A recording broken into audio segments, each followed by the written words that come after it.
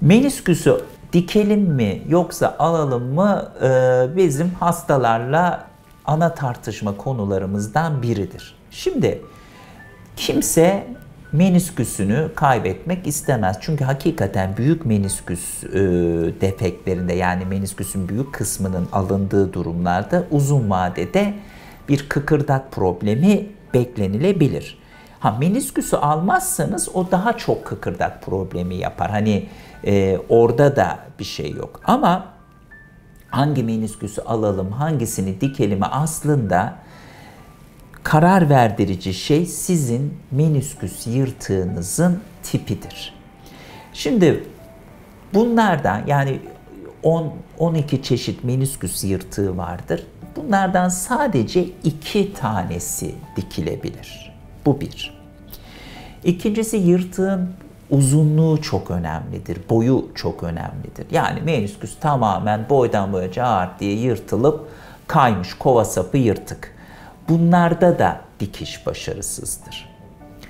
Yani bunları da dikmek zaman ve para kaybından ibarettir.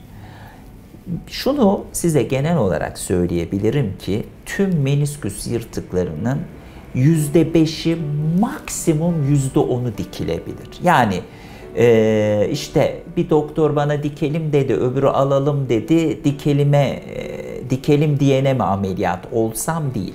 Yırtığınızın tipine göre ne gerekiyorsa onu yapan doktor makbuldür. Ama tabii ki menisküs dikişi e, menisküsün alınmasına göre daha ileri bir teknik e, beceri ve ekipman ister. E, biraz daha pahalıdır. Yani e, bugün itibariyle menisküs dikişinde kullanacağınız hep her bir iplik onu bir cihazla birlikte geliyor.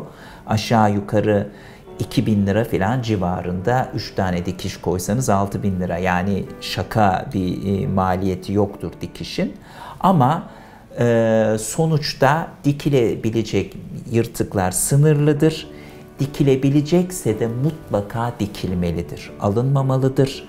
Ama dikilmeyecek yırtığı da e, eğer dikerseniz 1-2 yıl içinde yeniden ameliyat olmanız gerekir. Ee, bir de ağrıdan vesaireden de kurtulamazsınız.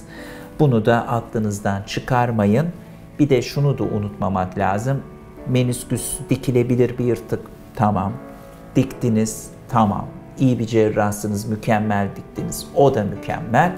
Ama en iyi koşullarda %80 oranında iyileşir. %20 oranında ne yaparsanız yapın iyileşmeye de bilir.